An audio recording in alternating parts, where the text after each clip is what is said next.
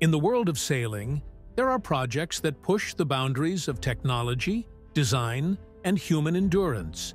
But few have been as ambitious, extreme, and tragic as Team Philips, a catamaran designed to break all records and conquer the oceans, but which ultimately became a legend of what could have been. The story of Team Philips begins with one man, Pete Goss, a British sailor with a bold dream to design the fastest, most revolutionary boat to compete in the race, an unrestricted round-the-world regatta. Together with a team of engineers and visionaries, Goss envisioned a boat that looked like something out of science fiction, a 120-foot-long, 70-foot-wide catamaran with twin masts, one on each hull. The most radical innovation was its 40-foot unsupported bows, designed to cut through waves rather than ride over them. It was more of a floating spaceship than a conventional yacht. Team Philips broke all the rules of naval design. Its key features included 40-foot unsupported bows designed to cut through waves rather than be battered by them. Two giant 130-foot masts mounted side by side, inspired by windsurfing rigs. An ultra-light carbon fiber structure closer to aerospace engineering than traditional boat building. It was a technological marvel, but also an unprecedented experiment. And like all experiments, it was not without problems. In March 2000, during one of its first sea trials, the forward section of its port hull snapped in two.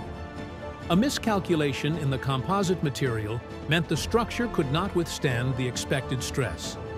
The hull was reinforced, but the problems continued. The innovative mast bearings also failed and required additional repairs. Despite everything, Team Philips was ready for the ultimate test, sailing to Barcelona for the start of the race. December 2000. In the middle of the North Atlantic, Pete Goss and his crew faced a massive storm. Winds of 70 knots, 130 kilometers per hour, and 10-meter waves put the catamaran to the test. Despite its cutting-edge design, the structure began to give way. Cracks appeared in the central safety pod, the only secure refuge for the crew.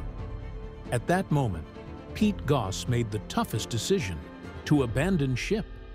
Sending out a distress signal, he and his crew were rescued by a Danish vessel. Days later, Team Philips succumbed to the ocean, disappearing beneath the Atlantic waves. Pete Goss's dream ended at the bottom of the ocean, but his legacy lives on.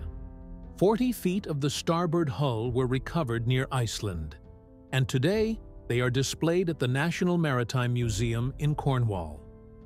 Team Philips proved that extreme innovation comes with extreme risks. Although it never competed in the race, its story continues to inspire sailors, engineers, and dreamers around the world.